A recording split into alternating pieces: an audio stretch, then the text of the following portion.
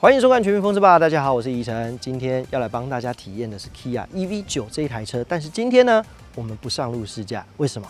各位还记得吗？四个月之前有帮大家深入的体验过，所以如果你对这些外观内装或者是材质质感以及驾驶起来的感受很好奇的话，欢迎大家点一下右上角的小白点，你都可以看到这些内容。那么最近啊，在这个月 EV9 在台湾就要正式的发表上市了，它的预售价格也出来了，各位可以看一下这个表格，目前在台湾贩售的车款基本上很单纯，分为二轮驱动版以及四轮驱动版，售价是二七九点九到二九九点九。那目前预接单的状况大概是在三百台左右。那如果今天不试驾的话，我们今天要来讨论什么呢？讨论一个我最近非常有兴趣的话题，而且我在之前试驾的时候常常跟各位分享。如果你真的要买一台电动车，其实要考虑的就是这一台车它可以带给你什么更多其他的附加价值。我认为这个是电动车它真正迷人的地方。如果你购买一台电动车，它只是把动力从油转成电，就这样而已，那我认为这根本没有什么吸引力。那今天要讨论的就是说电动车的额外应用。例如说，出去玩的时候，它可以怎么帮助你？哎，也是我最近很有兴趣的，就是车博啦，或者是有人叫车速，那它会带来什么样的改变？我直接告诉大家啊，Kia 的 EV9 大概是我在台湾汽车市场看哦，它在整体的设计以及人因工程，还有多种的使用场景上面，我认为它是最适合的。那如果车速你不太了解的话，我简单解释一下，它大概是在二十世纪七零年代从日本流行过来的。因为以前日本哦，这个露营地的资源很有限，所以呢，就有一些日本的年轻人尝试住在车上过夜。它的由来是这个样子。那最近呢，台湾也非常流行露营这件事情，也很多人尝试车速，包含我以前也是。所以我以前的解决办法是，我想要在我的 URX 车顶哦。加装一个车顶帐，为什么后来我放弃了？有几个问题，第一个太重了，所以呢油耗会增加，然后呢操控表现会下降，因为你在重心最高的地方顶了一个六十公斤，在开的时候整台车它的摇晃的感受会非常非常明显。还有就是气候的问题，如果你真的用车顶帐的话，像台湾的夏天很热哎，所以你白天很大的几率会被热醒。所以后来这个方案我就不考虑了。后来我改完电动车之后，我发现电动车比较好，但是电动车在设计上面，真的就是我讲的，韩国人其实设想是比较周到的。我可以很大胆的告诉你，如果你购买这台车回去哦，你有很大的机会，未来所有的出游住宿费可以是零元。这个是完全没有夸张的，所以等一下呢，我就会带着各位一起来体验一下啊，包含我自己也想要研究一下这台车它的车速，以及出去玩的时候它可以怎么应用，它强大的地方在哪里？包含等一下遇到有一些情境哦，我会顺便回答一下之前网友在我们的这个电车车路的影片下面提出了非常多的疑问，我也会一一的帮大家来解答。我们就一起上车体验看看吧。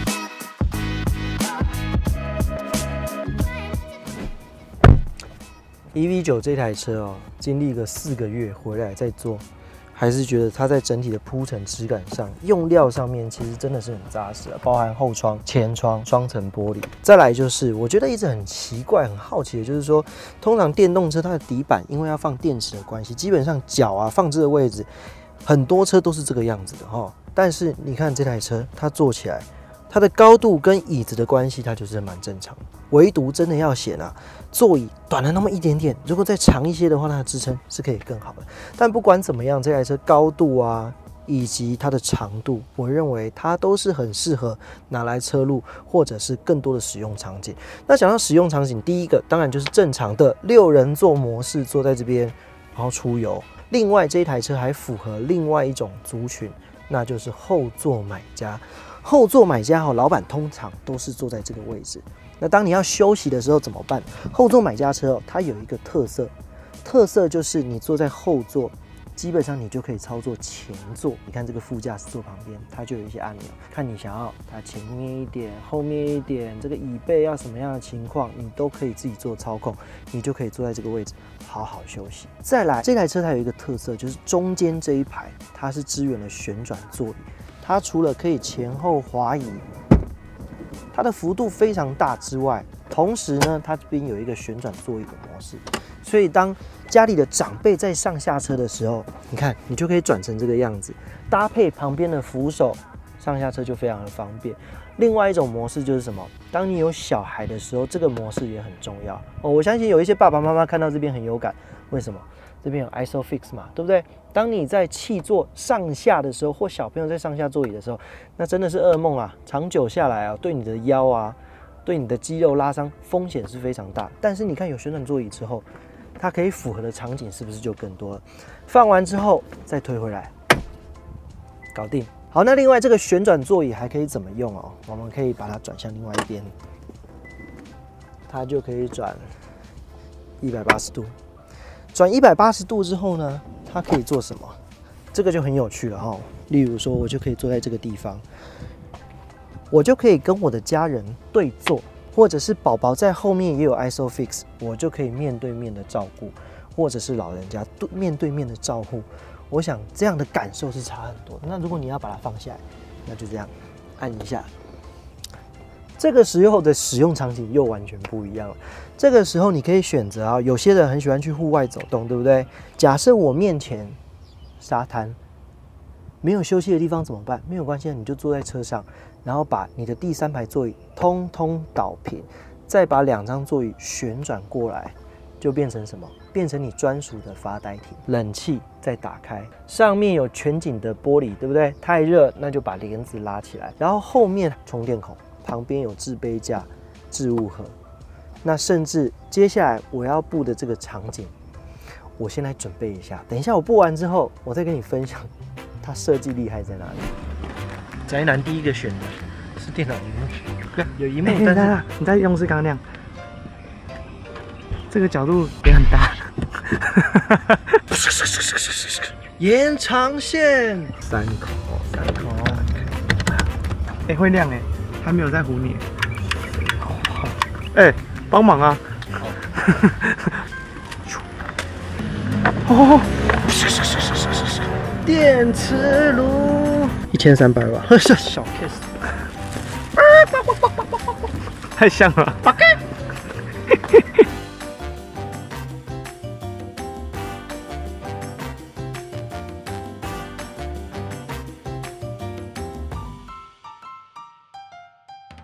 好的，各位，这个就是目前我认为发呆体模式最完美的状态。怎么样完美呢？你看这边有个电磁炉。等一下呢，我们就会来这边做一些简单的料理，包含前面我放了一个很大的荧幕在这边，我可以一边看风景，一边煮饭，一边煮饮料，然后一边看电视。那另外呢，车内的这个 V2L 功能呢，有些人会很好奇啊，那跟这个有什么不一样，对不对？这个东西就是可以透过十二伏特的电源把它转换成家用电。我跟各位说。这是完全不一样的东西，因为它可以承受的瓦数差太多了，差了十几倍。这个功能呢，油车它也可以使用，电车也可以使用，但是它最大承载只有到一百五十瓦。像这个电磁炉一千三百瓦。就不能用，你顶多接个电脑啊，充充电，接个手机充充电，接个荧幕还可以。但是你要烹饪什么，或者是你要使用吹风机，那是完全没有办法。那像这样原生的 V2L 功能的话，像 EV9 它就支援到一千八百瓦以上，所以我可以一边看电视，我可以一边煮菜，那是完全没有问题的。所以是不是非常的方便？我们就开始来煮吧。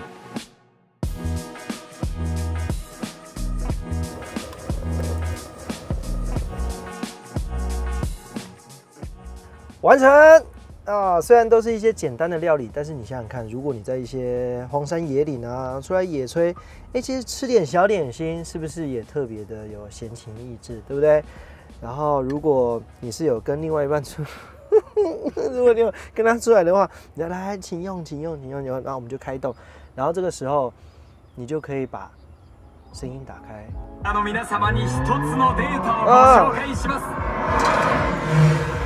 哦，这声音不错哎，八六的声音，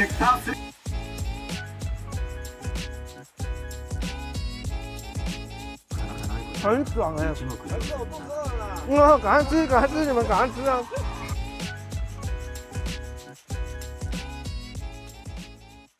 好，现在吃饱喝足了，最重要的吃饱了，天色也暗了，就要进入到最重要的车速嘛，对不对？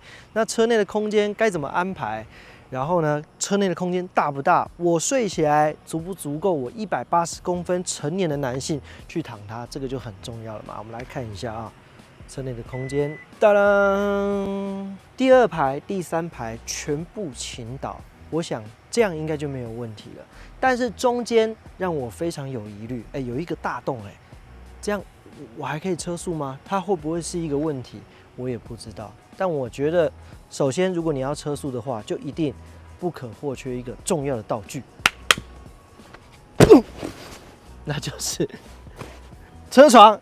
我们把它铺起来，然后再上去帮大家来体验体验。哎，很凉对不对？呃，对啊，我很少一边录影，还有一边有电风扇可以吹。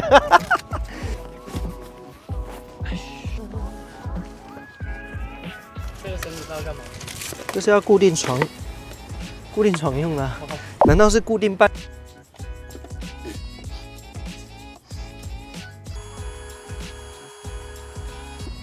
是不是不错？我再灌一点气好了。好了，各位，现在床已经铺完了，但是呢，问题其实我没有去解决它了。你看一下，这个下面这样子，呆就不高。要试看看？全力往下。全力往下。那全力往，如果。那就好看了。来，一、二、三、三、三。哎，可以耶。那另外，EV 九也因为它的车长五米，车宽快要两米的关系，所以基本上躺在这个地方，我认为空间是非常足够。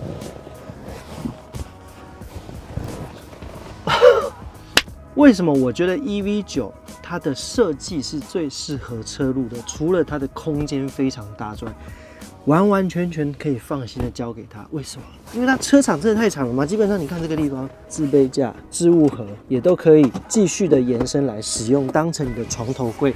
再来旁边的话，你看这个地方，它就设计有充电口，充完电的手机旁边就有一个置物格可以放着，这边有一个按钮，甚至可以用脚。